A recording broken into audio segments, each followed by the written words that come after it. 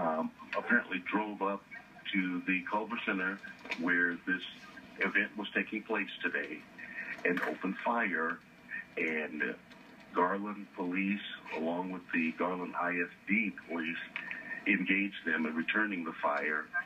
Uh, for certain, those two are down.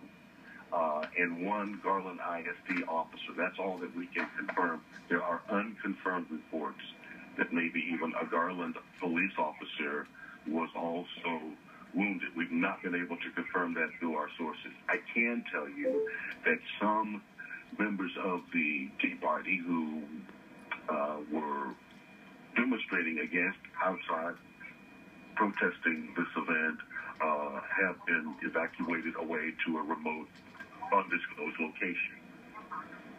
There were also some evacuations in and that area, businesses around the Culwell Center. On on one side is the George Bush Turnpike, the other side, North Garland Avenue, where there's a Walmart, um, Matt's restaurant, uh, and a lot of other strip center like businesses. Some of those would have already been closed because it was Sunday, some closing at 6 o'clock.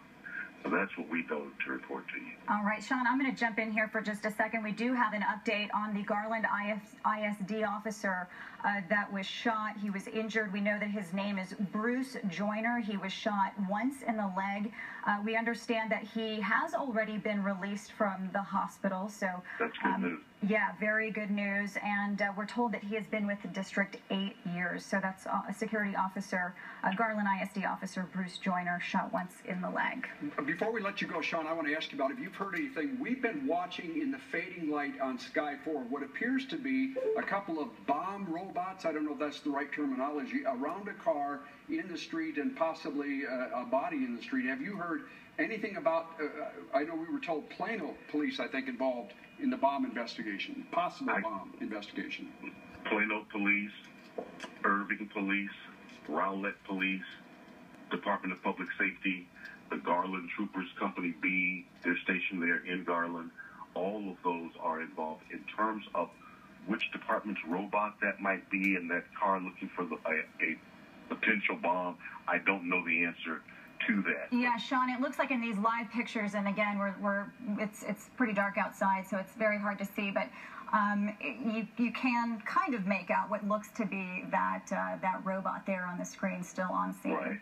I am not looking at your images. I'm in a position where I can't see right now, but I have been able to talk to some people who are on scene, and that's what they have shared with me.